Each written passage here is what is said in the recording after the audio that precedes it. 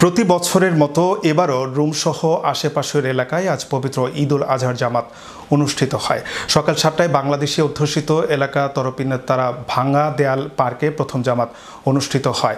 TMC মসজিদের আয়োজনে পরপর পাঁচটি জামাতে বিপুল সংখ্যক বাংলাদেশি সহ ভিন দেশের মুসলিম নাগরিকরা নামাজ আদায় করেন। ঈদের নামাজের ইমামতি করেন টিএমসি মসজিদের ইমাম ও খতিব মাওলানা হুমায়ুন রশিদ রাজে। রোববার ছুটির দিন ঈদ হয়। মুসল্লিদের উপস্থিতি অনেক বেশি লক্ষ্য করা গেছে। অন্যদিকে কেউ আবার রোববার কর্মব্যস্ততার কারণে মহাখুশির এই দিনে নামাজ আদায় করতে না পেরে দুঃখ প্রকাশ করেন Make your next gathering extraordinary with RC Catering. We cater authentic Asian cuisine, bursting with flavor and tradition, and it doesn't stop there. We also create stunning Asian inspired decor that sets the mood for your special occasion.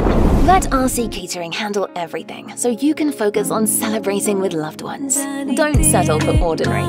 Call RC Catering today on 07949 152 522 and let the magic begin.